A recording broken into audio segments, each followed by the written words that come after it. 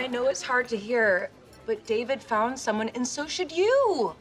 There is a room full of guys here. And you're a catch. You're an educated, diabetes free woman in Lanford. There's only two of us. The show is always balanced talking about politics, class, uh, gender issues, with being still a very funny sitcom. With the 2020 election coming up, how are the Conners going to handle the country's current political divide?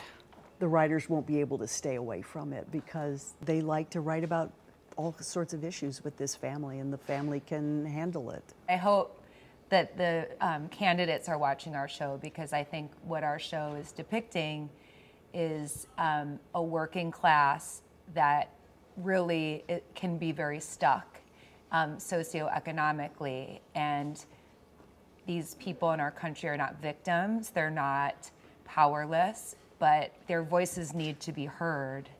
And um, I feel like, you know, I want one politician at least to pay attention to that demographic that we're representing.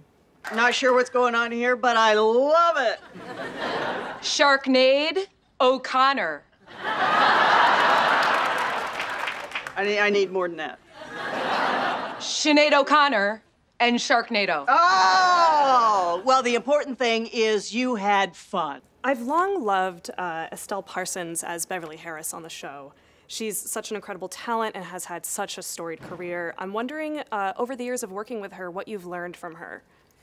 I think Laurie and I are her biggest fans. Yeah, she's she's amazing. The three of us have a strong uh, theater background.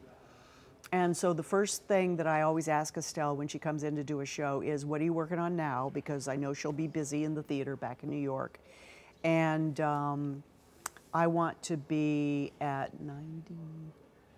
92 or thir- 93, something like that. uh, to be as um, as uh, energized by working as Estelle is. I hope that since she's doing a number of uh, episodes that uh, um, Beverly and Jackie have quite the relationship that she and I will get to be able to tear it up in the room a little bit. what I love about Estelle is that I it really doesn't seem like there's any kind of age difference. Like I just view her as a very good friend of mine and you know, I live in New York, so you know, Estelle is a quintessential New Yorker. She really doesn't love being in LA. So um, she always complains about being here. I think everyone wants to be a Estelle. I mean, it's a, every, a known fact. Everyone wants to be a Estelle when they grow up, but um, it, it's frightening to me thinking of doing this for that long, you know. But she's just such a powerhouse and a force um, that she is definitely inspirational. I gotta warn you, we only serve Chinese food. Got it.